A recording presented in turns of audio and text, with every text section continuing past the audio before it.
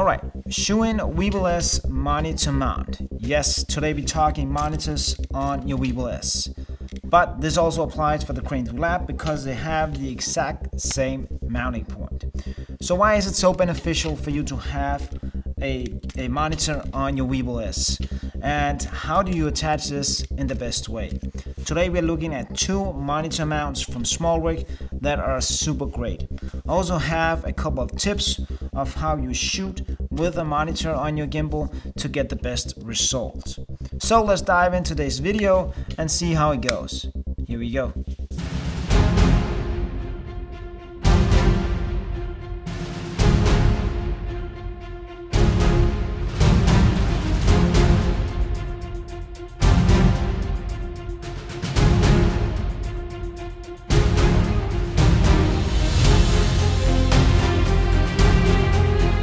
Before we start, I'll just say a big thanks to all of you guys who subscribe to this channel. It is highly appreciated. And it is mind-blowing that we are just turning wheels on 2,000 subscribers in this community. So uh, if you're new here, of course, remember to subscribe and hit the little bell to get notified when I upload a new video. So let's take a look at these two mounts from SmallRig. The EVF monitor mount, which is right here, and the SmallRig Magic Arm, Universal Magic Arm, which is this one. They are two different mounts. This one is very expensive. This one is super cheap. I always carry both of them in my backpack just in case this one breaks or something goes wrong with it. I always have this one as a spare in my backpack. But they attach to the exact same point on the gimbal, which is right here. Um, and the monitor will be sitting nearly the same place. So if you want the EVF mount, which is this one, there's a couple of components going into it. There's the um, swivel mount, monitor mount on top of it. And you will also need a NATO rail, which is on the side of the gimbal. All you do is you attach this one to the quarter 20 screw, which is here with the ARRI rosette on it. And then you slide the, uh, the EVF mount on here. There we go. So now you got this attached, then you'll take a monitor. The monitor that I use is the Small HD Focus 5 inch screen, which just goes right on top there. And then I can slide this one in and out. I can turn it in any angle to the side as well. I can also turn the whole arm up and down here. Oh, that's the camera. And then we just have to attach the HDMI cord to the camera and it is ready. So that is how you attach the monitor with the EF EVF mount, I think it's called, um, from SmallRig. It is robust, it is great, I love it. And let me show you a couple of benefits that you get from having the monitor right here. So the first benefit you'll get is of course you'll get a larger screen so you can see everything when you're shooting. But as soon as you put your gimbal into low mode, you will not be able to see the screen.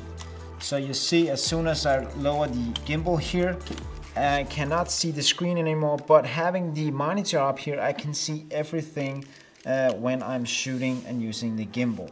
So add a screen and you will always be able to see it no matter how you're shooting. So the next mode is going up high and you can use a extension rod like this carbon fiber here or you can take the Zhiyun uh, monopod tripod thing they have which is really great to get some really high shots uh, up in the air and again the benefit is as soon as you take uh, your gimbal and put it up in the air you will not be able to see the screen because it will be high up, but you can adjust the angle of the monitor and still be seeing um, everything on the screen while you are shooting. So again, this screen just saves the day uh, when it comes to visibility on your gimbal. The next mode is of course the vortex mode where you take the gimbal, put in POV, one more time, double click and it goes into vortex mode. As soon as you start rotating the, uh, the gimbal, you cannot see anything and the monitor will be turning with the camera. But having the screen right up here, you can see everything uh, while you are using the gimbal in the Vortex mode. So I highly encourage you to get the monitor mount and a monitor for your gimbal uh, because it is just much easier to use the gimbal. You can dial in the uh, exposure and focus, everything just makes it much more enjoyable using a gimbal. Alright, let's take a look at the Universal Magic Arm from SmallRig. Let's get this away. So you take the small Magic Arm and put it in the screw right there and tighten it. There we go. Then you'll take the monitor using the small HD again.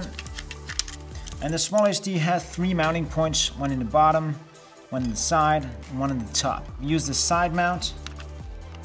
Switch this on. So now it is on. Attach the HDMI. So as you can see, the monitor actually sits nearly in the same place as the um, the EVF mount. And it can do the same. You can turn it. You can open this one put it in any direction you want. But it is not as heavy duty as the EVF mount. So if you have a bigger screen or a a heavier screen with double batteries or something like that. This mount is probably not the one that's gonna go uh, do it for you because it's not as robust and it can't take as much payload as the EVF mount can. But I always carry both of them in a backpack so in case one goes down I have the other one to use as a spare. But it's a great option if you have a light screen like the Small HD Focus or something lighter. Uh, this one is great. You can see I can use it in any direction I want. I can turn it, uh, I can adjust it uh, as I want on the go.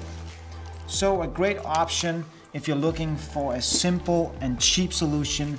The SmallRig Universal Magic Arm is probably the one you're gonna go with um, for your setup. So what is the price difference between the EVF mount and the small Magic Arm right down here? The Magic Arm you will get for, you will get a set of two for about eight bucks on Amazon. And the EVF mount with the all the components you need, you will have to spend 138 bucks.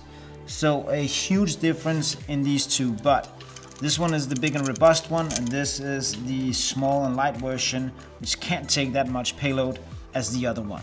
Alright, so guys, that is it. That is how you use a monitor with your Weebill S. And if you're interested in more Weebill S videos, I have a full series of hacks, tutorials, how to set it up, and on and on and on. So I will link some of the videos down here so you can go back and see them. And of course, if you're new here, remember to subscribe and hit the little bell to get notified when I upload a new video. So as always, I will see you guys back here next time. Thank you.